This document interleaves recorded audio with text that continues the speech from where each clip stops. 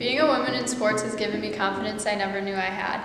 I work hard every day to make improvements and I am thankful for the opportunities I have here at PNW. Let's lead the way for the future generations of female athletes. Being a female in sports has taught me to be competitive, strong, and confident. Having the opportunity to be a woman in sports is something I'm incredibly proud to be a part of. It's challenged me to become stronger mentally and physically, as well as be a part of a family with an awesome group of girls. Being a female athlete has given me the opportunity to be a role model for future athletes. Being a woman in college athletes is truly amazing. Not only do I have teammates who inspire, push, motivate me, and always tell me to do my best, we also are a true inspiration for the young athletes. We can show them that as long as you put your mind to it, you can accomplish anything, especially being a woman in athlete athletics.